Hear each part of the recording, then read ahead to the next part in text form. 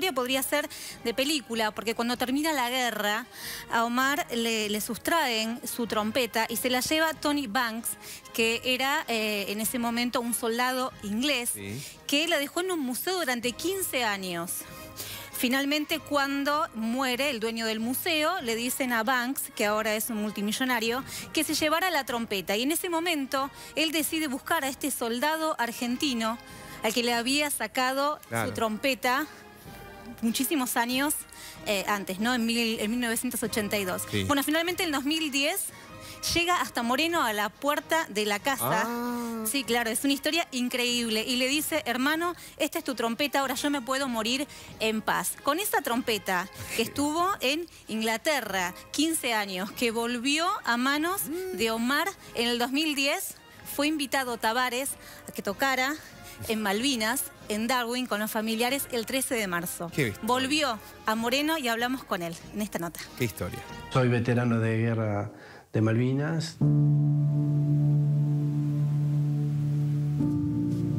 En aquel entonces, en 1982, tenía 19 años. Mi profesión es eh, músico. Entonces eh, yo tenía que hacer con la trompeta eh, distintos toques que cada uno de ellos tenía un significado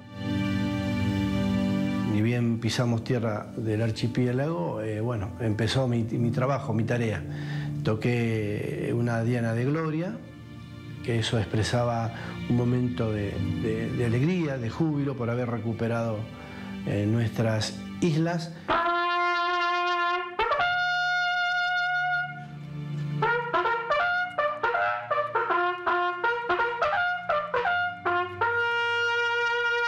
El primero de mayo eh, escuchamos un, estruendo, nos despertamos y eran las bombas que empezaban a caer. Ahí es donde digo eh, que empieza el infierno, que la guerra es verdaderamente un infierno.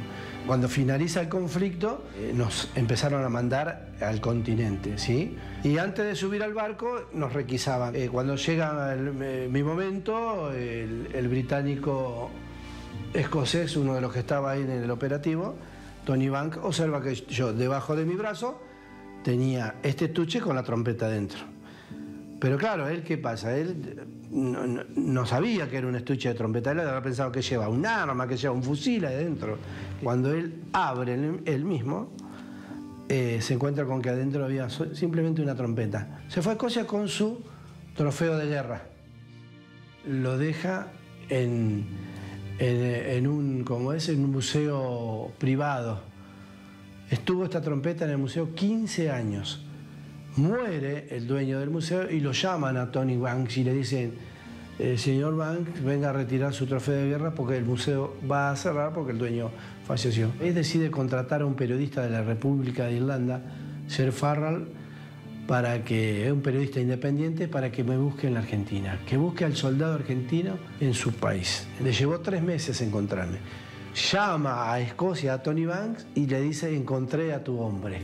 Decidimos este, el encuentro para el 14 de, de junio del año 2010. Y a partir de ese momento nosotros nos comprometimos a luchar eh, por la paz.